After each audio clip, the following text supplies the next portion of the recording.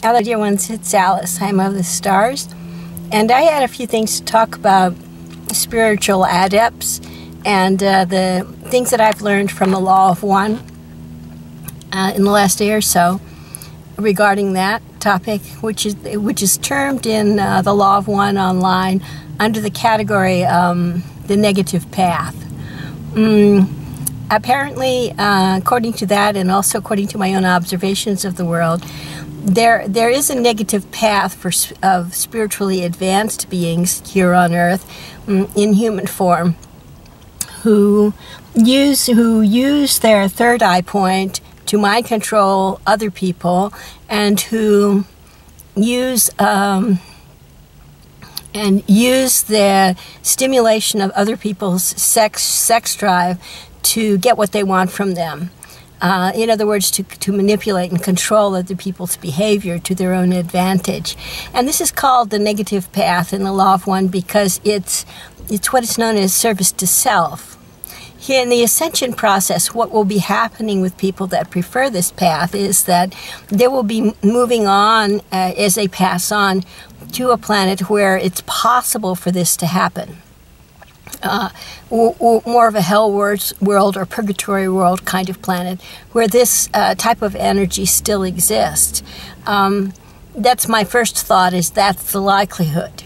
Uh, otherwise, they may, uh, as some said at the beginning of the ascension process, they may exist in um, an alternate timeline, on an, in an alternate reality here on Earth that's that's that's more negatively or more densely aspected, and they may continue in that timeline as it, as it slowly loses um, vital force. Uh, for a long time, maybe a few centuries, because more and more people will be choosing uh, through their soul, like wisdom, choosing the path of service to to others, um, because that's what this planet has become. Earth has become. Or such people and some of the other people, any number of people may choose to, as they pass on, to go directly to Source, um, which is a glorious sort of uh, celebration. You know, it's not like a punishment or like that. So there are a lot of choices here on Earth right now.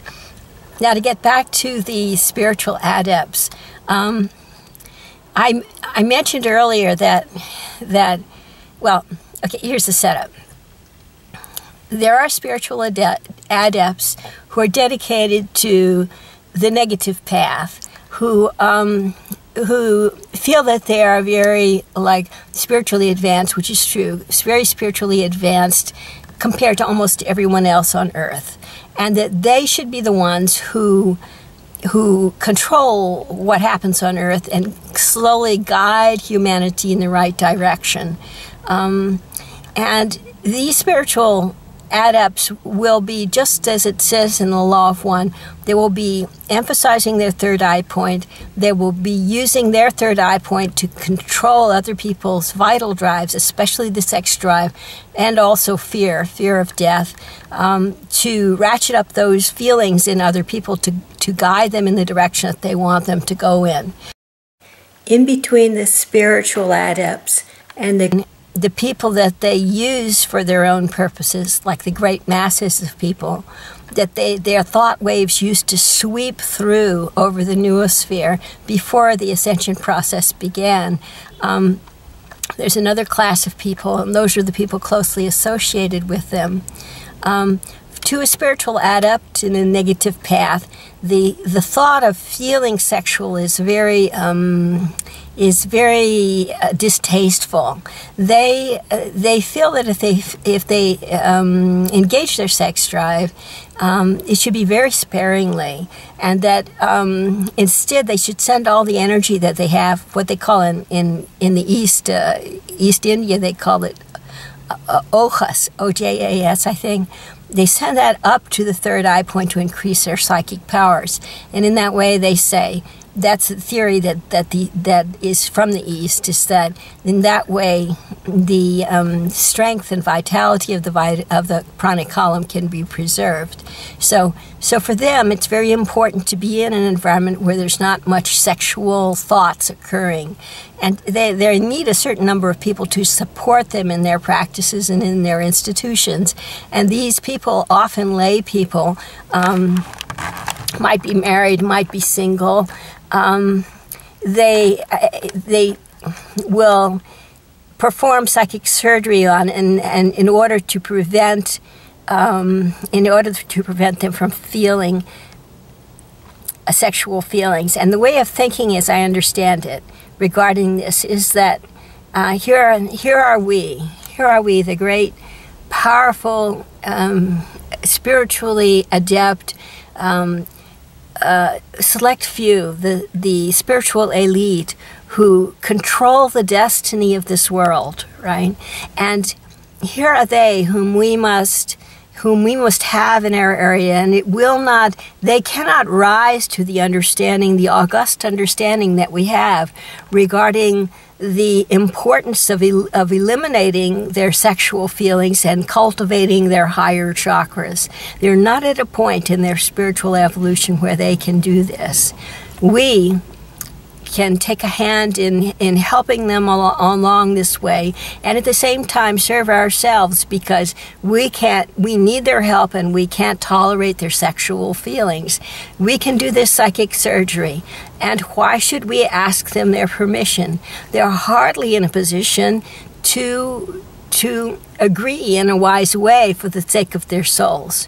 And so these psychic surgeries are performed on the people that congregate around them uh, without their permission. Uh, as I've mentioned before, uh, unfortunately, it can result to soul devolution, to the severing of the silver thread that connects the lower and the higher mental bodies, and to, to making the subtle bodies um, uh, unsuitable for ensoulment. So then the soul floats up and cannot no longer um, offer uh, healing uh, wisdom to the actions being proposed by the mental mind um, for life on earth. That's my that's my concern about this this practice. First, it's a free will planet, and this doesn't presuppose free will. This practice, and second, that it, it's detrimental actually to the soul's evolution, even though it's proposed and thought of in another way. And then then there are the great masses of people, and the feeling of the spiritual elite towards these masses is that is that they are hopelessly beneath them. They are more like animals, and that they need to be driven in certain directions, and forced into other directions and in this way and that social experiments uh, surgical experiments on these people is no big deal because they're close close enough to the animal realm for it not to matter. So um, you'll see these types of practices having been t- taking place. Don't be too taken aback. It's meant well, but it has not worked out well for for hu- humankind, and soon will be over with because um, these the people that are that have the notion of ne- negative path orientation will be moving on into other um, to other locales, either temporally or um, dimensionally. In fact, they already have. It's just, it's just our notion that they're still here that causes us to bring back the collective memory of what once was. So when we encounter these memories, these collective memories of what once was, the thing to do is to bless them and transform them with love and light, the violet flame of Saint Germain, and so forth. And and these will these will, and you can also say, uh, "May you be blessed with unconditional love," and these will help to clear our noosphere and uplift our, our noosphere, and also to uplift their feeling about themselves so that they can reach, as according to the law of one, reach the highest level of the negative path as soon as possible, and then be in a position to retrace their their energy to the positive and on to higher levels. So, so we can serve all concerned through neutral witnessing and through transmutation, uh, transmutation towards a light with love. Prior to the shift, uh, in about the year 2000 and earlier, the scene, the noospheric scene on Earth was quite something different. Um, there were rolling clouds of unconscious thought um, all over the planet, and there were only about maybe 10 or 12 people on Earth who had the um, the um, psychic oomph to to manipulate those clouds of unconscious uh, thought forms consciously. And so they would, um, while people were sleeping at night, they would um, insert certain phrases into the psyche of the world at large, the dreamtime world, that were could be that were, could be called actuators, and these actuators could be um, would be linked to to a, a, form of acting out, right? And uh, maybe through imagery or otherwise. I wasn't in on this. I don't know, but but I, I, I, was there when, when I began to notice these actuators floating around and being changed by in the in the year 2000 and after that being manipulated by these very adept spiritual um, people known as the controllers, and they would they would um, program this malware into the population while they were sleeping at night, and with an actuator that they could in, then uh, speak consciously during the daytime and that would actuate some uh, change of energy like ripple in the stream or restreaming of the energy of the unconscious thought cloud of the world. And apparently had been very successful at this for quite some time. Then the shift happened in uh, 2012, the shift happened and everything changed. And suddenly people started rising to consciousness. Ordinary people started rising to consciousness of the unconscious thought cloud of the world. And so they began noticing that what the work that the controllers were doing. And so with each new group rising up, uh, the work of the controllers became less effective. And things didn't really reach a tipping point until quite recently when many, many people have risen to the light and are aware of uh, other people's repressed energies. That's what's happening right now in the world. And so at this point, all it will take is that a counteractualization or an, uh, a bringing to consciousness of the actuators that are um, that are in place have been in place because of activity that occurred in the past, either either uh, through the controllers on Earth or through those who control them, who are members of the demon realm. Uh, it's been brought to my attention recently that there's still like a, a an echo of a being, an entity called a harpy that um, that circulates here and there according to um, the collective recall of certain types of negative energy. And there have been many others. I forget how many, in fact. There have been um, all the images of Satan, all the presences of Satan by various names and worshipped in various forms. There have been the disembodied thuggees who were actually a form of spiritual adept that have gotten onto the the psychic plane at a very high level of a psychic plane negative and who have been looking for ways to get back into form but unable to find them and because of the rising of the light on earth and who apparently have migrated elsewhere now perhaps onto an astral negative planet. Um, then there were the subtle sorcerers whose uh, energetic hold on humankind, uh, both in form and beyond form, has has greatly lessened, and many many others such. I'm not too familiar with all of them. So all of these negative entities uh, have been uh, controlling the controllers.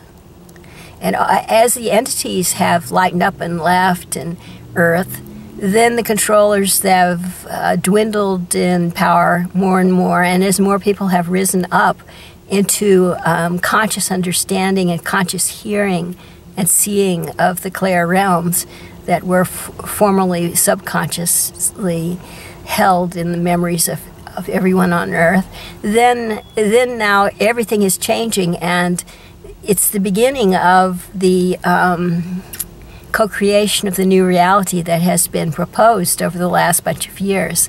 That more and more people are finding ways to help co-create a new reality through the astral realm that then manifests in the physical realm. So now you may be wondering, what about the controllers? Do we need to fight them? Do we need to to change them? Do we need to to to send them off someplace? What do we need to do?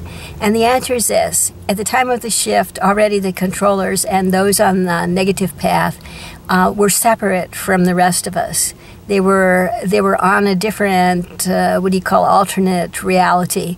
They were in a different uh, temporal or and or dimensional reality. For those that feel that they are really true and really real, then at this moment they are in those places where, in that alternate timeline or dimension, where those beings are.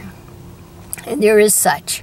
Okay, but for almost everyone else on earth, uh, for all those of love and light and so forth, they are already in a separate uh, timelines in separate dimensions, although they can dip back down into those worlds, the, what we would call hell worlds or purgatory worlds, and then dip back out again. We have that option, recognizing as we do our own free will and the existence of the all and our service to the all and our love of all beings um, everywhere. Mm, so, so the answer is we need do nothing. We can say what we wish, we can be what we wish. We don't need to include them because they have chosen otherly. They have chosen otherwise. Okay? Um, in fact, for instance, a, a, video such as this uh, were to be found in the in the worlds inhabited by the the negative path humans and other negative path entities would be banned from the internet, would it not? Because it explains some weakness that they might have. So, what we will find in the multi-dimensional, multi-temporal universe is that in certain realities it will be impossible to find this video online. But in our reality, in, in our love based, love oriented reality, it will always be available. So we should never be concerned about uh, what we post on the internet that negatively impacts the controllers. They don't exist in our timeline anymore. So you can prove it, you can view the video, and you'll know that they have no power here now. There's no need to engage the mind in those mental tangles and in those cause and effect um, dead ends and uh, box canyons that it once engaged in because of their power over the noosphere here on Earth. So you may be asking, but what if? From a practical point of view, what if we find ourselves suddenly in the clutches of a controller? Suppose we find ourselves in a like hell world or a purgatory world or so forth, and we can't find the path out and up. So um, the answer to this is in lies in in uh, timeline and dimensional shifting uh, in in the activation of light that goes like this spirit to team your team is way above all these possibilities both negative path and positive path. So you're you're asking your team. You're saying spirit, my soul to team. Optimize timelines and dimensions for the all through free will. And what does that mean? When that happens, you'll find yourself back in the form of Gaia that includes the options of free will and service to the all. See? That's all you have to do. So, so you can find yourself there and you can pull yourself directly out of there. You can also do that um, with positive emotions as is expressed by Judy Satori in the website www.judysatori.com. She says transform with love. You can look up her magenta pyramid meditation and golden pyramid meditation.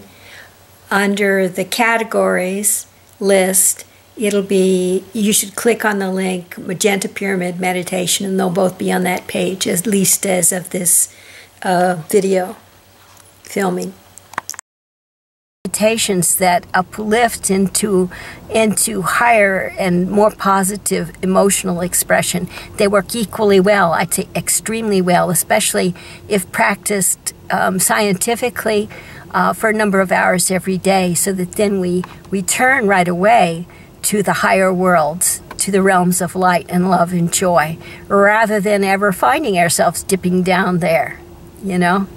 So, and there are many other ways. You can, you can, you can watch a humorous movie if it doesn't include anything um, mean or derogatory towards other people, for instance. You can, um, you can read a holy book that uplifts you. you can find your talk to someone who's in a higher dimension and that will pull you out. And gazillion other ways in fact the main thing not to do is to imagine that you're stuck in a hell world or purgatory world because in fact you are a pure being of light and love. You have an eternal soul and you're capable of whatever you wish to to manifest as reality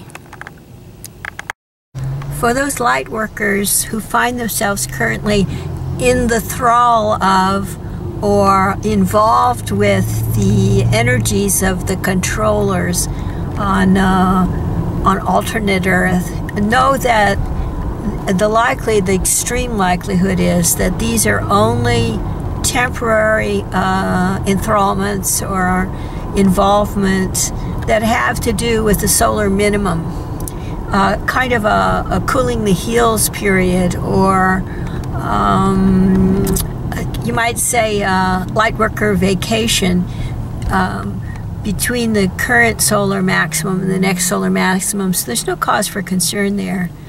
Um, um and I think in general, uh, no matter whether minimum or maximum, when we find ourselves in a situation where we can't uh, can't perform duties as light workers, that that's true. It's for some reason to our advantage or to the advantage of humankind to cool our heels just for a little while.